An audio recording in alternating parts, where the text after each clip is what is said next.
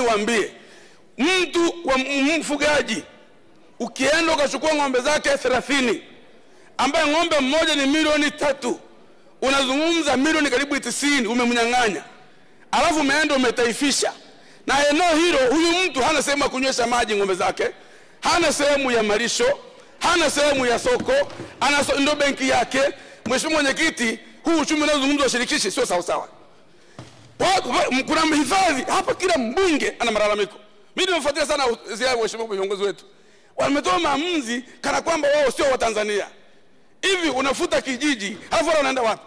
Huyu mbunge waliompigia kura wanamwambia tulikuchagua wewe, alafu tumefutwa, turudishie kura zetu. Anafanyaje? Mheshimiwa Mwenyekiti, hili jambo naomba serikali lichukue very serious. Napozungumza mheshimiwa bunge, mwezi wa tisa uliopita kule katika jimbo langu wamekusanya ng'ombe kutoka Nyanungu, Nyarokoba, Kuihancha, wameenda wametaifisha ng'ombe, wanasema hazina wenyewe, watu wangu wanalia. Alafu tena tarehe kumi na tano mwezi wa kumi wamekusanya zingine, napozungumza ziko hifadhini.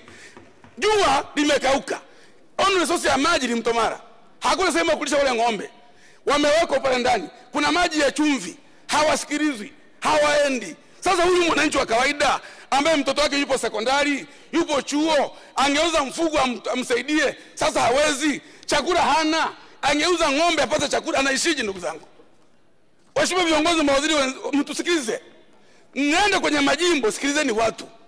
Hawa sio wanyama. Tuzungumza na Watanzania wenzetu, haitafurahisha. Kuna watu hapa anaitwa chawa, ukichangia jambo hapa badala ya kujadili hoja wanakujadili wewe. Mheshimiwa Mwenyekiti, nataka niwaombe. Tuzungumza uchumi wa Watanzania, halafu